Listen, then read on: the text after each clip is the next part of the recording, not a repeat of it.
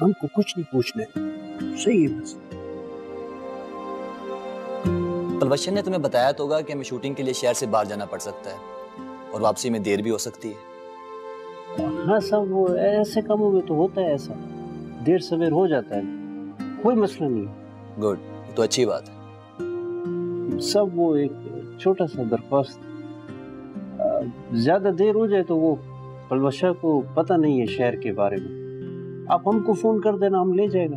देर हो जाएगी तो उसे गाड़ी घर ड्रॉप कर देगी।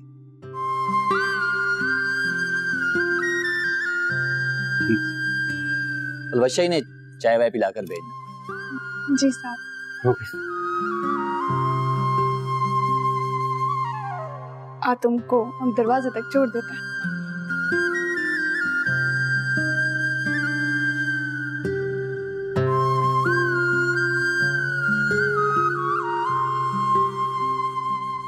वैसे हम तो समझ रहा था तुम साहब से बड़ा सवाल करेगा।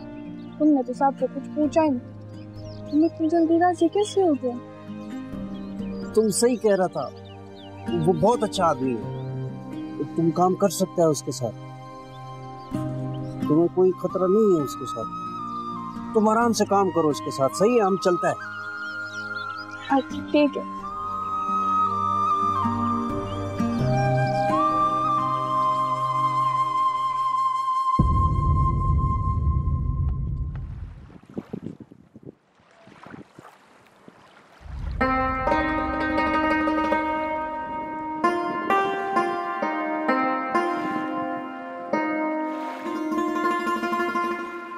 यारा तुम तो रेशम का चक्कर में बिल्कुल पागल हो गए।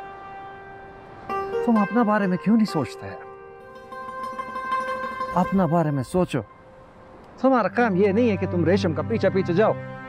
उसका दरवाज़ा का बाहर इंतज़ार करो। तुम हमको हमारे हाल पे छोड़ क्यों नहीं देता? है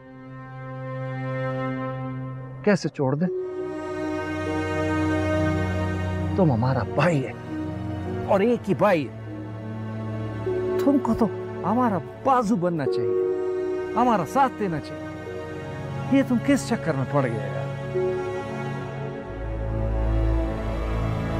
तुम चाहता है कि हम खुश रहें तो फिर जाओ। रेशम के रिश्ते के लिए हमारा बात करो। किससे बात कर? ससुर को बोले कि बहू का रिश्ता दे दो। सरदार खान तुम जो चाहता है ना वो नहीं हो सकता है। क्यों नहीं हो सकता है? तुम उसका ससुर से रिश्ता नहीं मांगेगा उसके बाप से मांगेगा। शफीउल्लाह का रेशम से अब कोई वास्ता नहीं। वो खर्चा पानी ले चुका है। उसने अपना बेटी गुलबाज खान को दे दिया।